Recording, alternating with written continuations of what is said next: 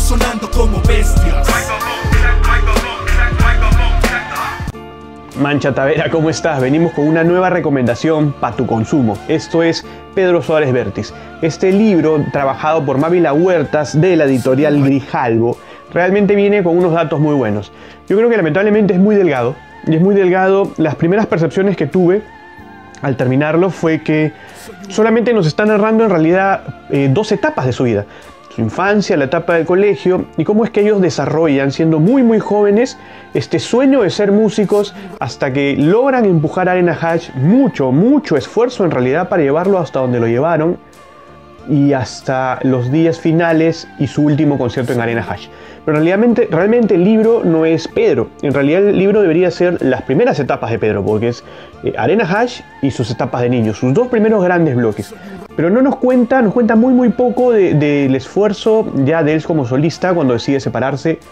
Por ahí nos da algunos datos de su primer disco, del Técnicas para Amar, nos habla por ahí algunas cosas ya del póndero en la lengua y de su salto hacia Latinoamérica. Nos habla muchísimo de cómo era él, de sus sueños, de su forma de ser, de cómo lo miraban de niño, de cómo de, adolescente y de niño pensaban que era un fumonazo, de cómo era muy creativo. Y lo interesante es que hablan todos. Habla su hermano Patricio, habla Cristian, habla Arturo, habla eh, por momentos eh, familiares, amigos del colegio.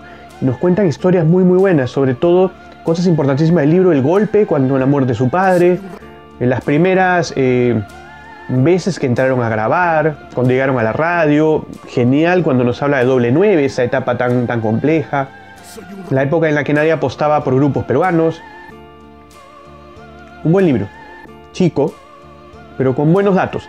Buenos datos. En este libro, Mávila Huertas eh, ha logrado buenas entrevistas, entrevistando a gente que a veces es difícil de conseguir, como son los amigos, que tienen otra vida y están en otras cosas pero muy muy buenos datos para conocer realmente esta evolución, los sueños, la meta y estas etapas iniciales difíciles de, lo que es tener una banda. Las fotografías son muy buenas, podemos no solamente conseguir eh, fotografías de ellos cuando eran niños, por ejemplo, sino etapas muy muy buenas de su vida como es el colegio. Por acá hay una, las fotos de promoción que siempre son importantes, fotos de ellos cuando ya empezaron con la banda. Por acá hay una foto de, la primera banda que armaron para tocar en el colegio. Una gran historia en realidad la de ese momento, año 83. La primera formación de Arena Hash con Alex. Después Alex sale cuando ya empiezan a, hacer las cosas en serio. Él sale y empieza pues este gran cambio, ¿no? Pero fue Alex al final quien puso el nombre de Arena Hash Garrido Leca, Manuel Garrido Leca, si no me equivoco es Manuel. Sí, Manuel Garrido Leca, él fue el productor de Pedro, él fue el que logró el, la gran, el gran esfuerzo, los grandes éxitos de Pedro. Miren esas caras de chivolos. Cristian eh, Meyer entra después, es un año mayor que todos los demás. Y el boom, cuando lanzan su disco, cuando empiezan a hacer pop, Pedro en realidad decía que no le gustaba mucho el pop, que él prefería hacer mucho más rock and roll, ellos eran rock and rolleros, Arturo Pomar era, escuchaba heavy metal, rock pesado, y empezaron a hacer lo que les gustaba y cuando llegaron a esta etapa en realidad todos pusieron punche, eh, la ropa, la forma de vestirse la planteaba Arturo, Arturo Pomar, ya después lo vimos Arturo Pomar haciendo hip hop, eh, haciendo hip hop incluso me acuerdo en esa primera agrupación con Lírico del Fucking Clan, y después haciendo muchas más cosas, ¿no? Año 88, en la 30 más más, podemos ver ahí a Arena Hash en el primer puesto. Y es un gran cambio. Luego ellos viajan a Miami. Se da el gran cambio. Y realmente la historia es genial. Lo interesante es que incluye una carta. Una carta que escribe eh, Pedro a su mejor amigo en, que vivía en Miami. Miren, Halloween parties, fiestas, conciertos de de Arena Hatch en Miami. Ellos se fueron para allá cuando ya arrancó la etapa fuerte de la crisis en Perú, tratando de, volar hacia otros niveles. Pero ahí está, al final el grupo murió. Es un buen libro, tiene buenos datos, esos libros ligeros que empiezas a leerlo y que consumes rápidamente, rápidamente te atrapa y rápidamente consigues mucha información útil.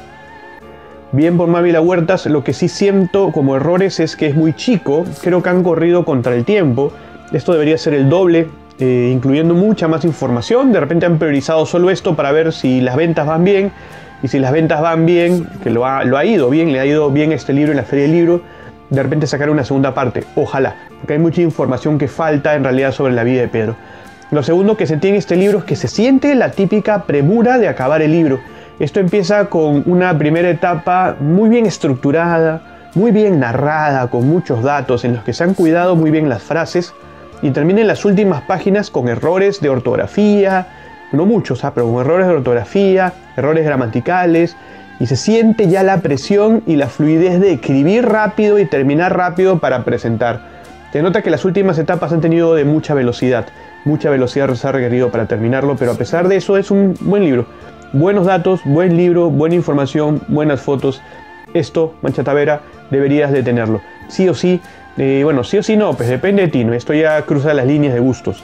Eh, yo no soy una persona que escuche mucho la música de Pedro, en realidad no lo escucho, no está entre mis discos ni mis cassettes en su época, pero ha tenido una genial carrera, ha tenido mucha inventiva y eso es algo que se respeta. Así que Mancha Tavera, el día de hoy, para tu consumo, la historia de Pedro Suárez Vértiz. Nos vemos en la próxima. Sonando como bestias.